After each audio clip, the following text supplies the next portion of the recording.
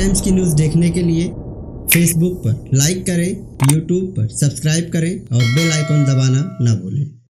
मैं इस्लामुद्दीन खान और आप देख रहे हैं प्रहार टाइम्स।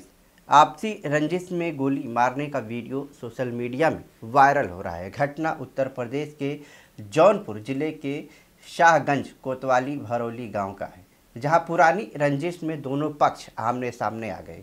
और गोली चलाने वाला तारिक और इश्तियाक और ओसामा एक दूसरे के पड़ोसी हैं। शनिवार को इन लोगों में कहा सुनी हुई, जिसके बाद तारिक ने अपनी रिवाल्वर निकाल ली और दोनों पिता पुत्र पर गोलियाँ चला दी। वारदात में इश्तियाक और ओसामा दोनों को गोलियाँ लगी और गंभीर रूप से ये दोनों घायल हो गए। तत्काल इन्हें अस्पताल ले जाया गया मगर डॉक्टरों ने ओसामा को मृत घोषित कर दिया।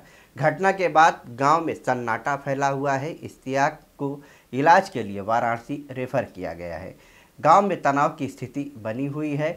भारी पुलिस बल तैनात की गई है। एसपी राजकरण नैयर भी घटनास्थल पर पहुँच गए हैं और आरोपियों की धरपकड़ में पुलिस जुट गई है। थाना शाहगंज में एक व्यक्ति को गोली मारने का वीडियो वायरल हो रहा है। क्या मामला है? थाना शाहगंज के अंतर्गत ग्राम भरौली में दो पड़ोसी हैं, इश्तियार, उनका पुत्र ओसामा और तारिक।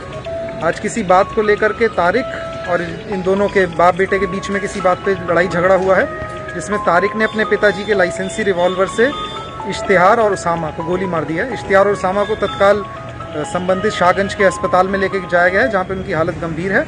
इश्तियार को जिला अस्पताल रेफर कर दिया गया है। दो टीमें बनाकर के तारिक को अरेस्ट करने के लिए रवाना कर दी गई हैं। आगे की विधिक कार्रवाई प्रचलित है आपको अवगत करवाया जाएगा।